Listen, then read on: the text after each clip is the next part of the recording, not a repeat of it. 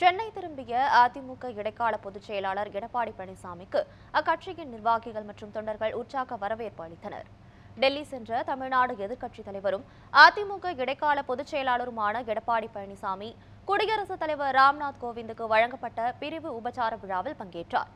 மேலும் இரண்டு தினங்கள் அவர் டெல்லியில் தங்கியிருப்பார் எனவும் பிரதமர் மோடி உள்துறை அமைச்சர் அமித்ஷா ஆகியோரை சந்தித்து பேசுவார் எனவும் கூறப்பட்டார்.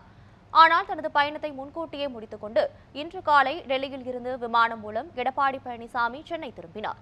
விமான நிலையத்தில் அதிமுக நிர்வாகிகள் மற்றும் தொண்டர்களும் உற்சாக வரவேற்பு அளித்தனர்.